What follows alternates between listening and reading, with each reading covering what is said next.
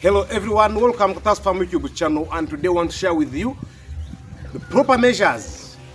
What principles must you use to vaccinate your birds? In this video, we are talking with people who are not doing organic farming. We have, we have videos about organic farming, but this time we are saying if you're not doing organic farming, what must you do to vaccinate your birds properly? So stay tuned on this video, watch till the end, and if new on this, if you are new on this channel, please subscribe. And if it's your first time to watch these videos, like, share, and comment so that you don't miss out on any video next time.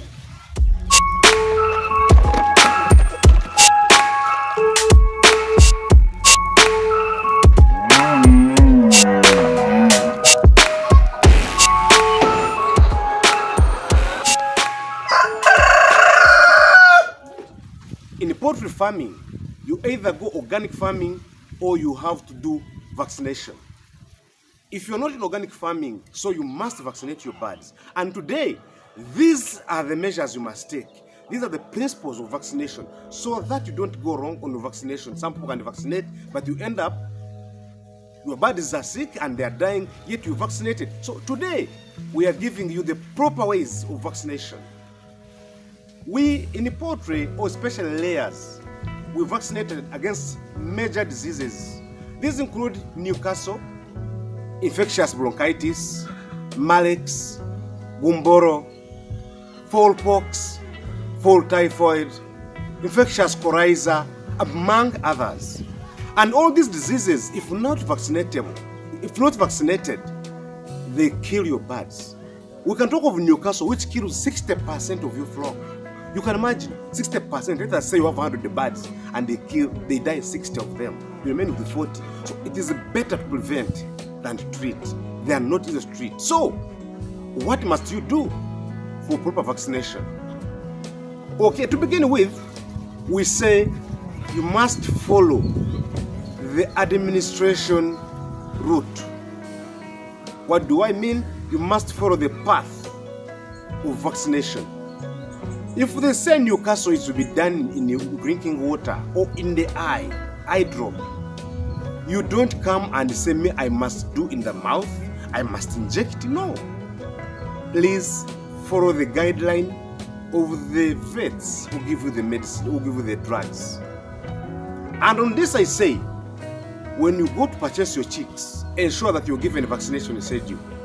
Let your supplier give you a vaccination schedule because the vaccination schedules vary from com community to community, from location to location. It depends on the mother's stock.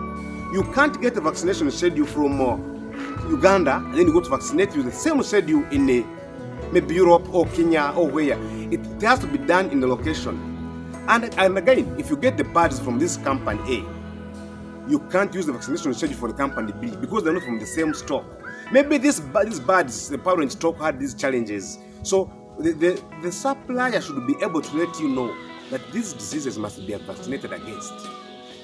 If you don't vaccinate, you get challenges. They die usually in large numbers. Another thing you must ensure, ensure that if they tell you to vaccinate using water or drinking water, you never use chlorinated water. Ensure that the, the water you're using, if you use vaccination in the water, the water is tap, is, is drawn from the borehole or rainwater, or you keep the chlorinated water for over 24 hours. You fetch it, then you keep it for 24 hours before you give it to your birds. Otherwise, that chlorine reduces the vaccine. You know, the vaccine is a live organism. So when you give it such medicines, usually they kill it and it loses energy. You end up vaccinating, but the birds still fall sick. So ensure that you never use chlorinated water. To vaccinate your birds, ensure the birds are not sick apart from some diseases which are maybe it's a calamity and it has come on ground you have nothing to do.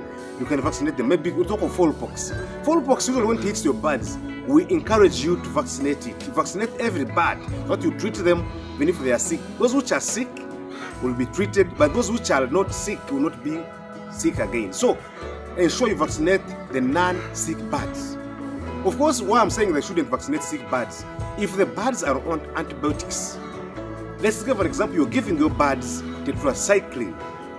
You can't vaccinate them because those antibiotics are strong to kill the vaccine once again. The vaccine is a live virus, it's a live organism that you cannot give any other antibiotic, you kill it. So ensure that you never vaccinate a bird that is sick. If you vaccinate your birds, I usually encourage you to give them vitamins a day before or a day after. If you're giving vitamins, try to give them two days before and two days after. Because the vitamins are like organisms that stress the bird. The bird will be stressed, and once it is stressed, of course, if it is laying, it loses the eggs. If it is growing, it loses the growth rate. So ensure that your birds are vaccinated, but with vitamins before and vitamins after. When you go to buy the vaccines, you must handle them with care. Don't put them in a very hot environment. Don't put them in a very cold environment. You see, these vaccines, you bring them in the ice or in a flask. But of course, I usually say to the starters, you don't. We all don't have flasks. I mean, we, we all don't have flasks or the, the where to carry the vaccines in a safe way. But when they give you the ice, put in a good container, carry home. Don't pass anywhere. Some of us don't have fridges at home. You vaccinate immediately. Because this vaccine shouldn't be frozen and should be put on a fridge level, refrigerated level. And because we don't have fridges in the villages, we encourage you to go town, buy the medicine or the vaccine, come with it. Don't pass anywhere, reach home, vaccinate. Number one, vaccinate. If it is eye drop, put in the eyes. If it is for injection, the wingy web, that like smallpox in the wingy web, you, you inject direct. If it is to be the chest, the subcutaneous, this uh, the, the fowl typhoid, you do that. So ensure that you do what the doctor or the vet has showed you, the shop attendant. And again, this is what brings me to don't buy in any other shop. There are shops which, which, which have fake fridges. A shop that sells medicine, the vaccine, but the fridge is not working.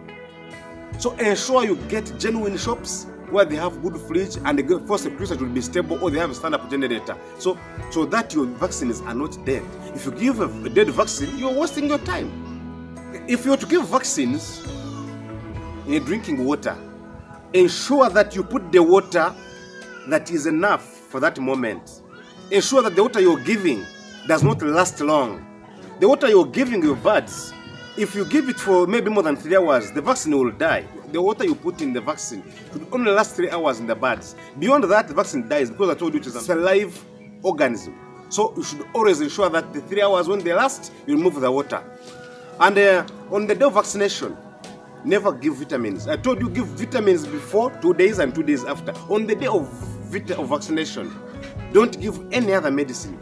Be it deworming, be it a vitamin, don't give any medicine on that day. Leave the birds to be on the vaccine alone and the vaccine will work.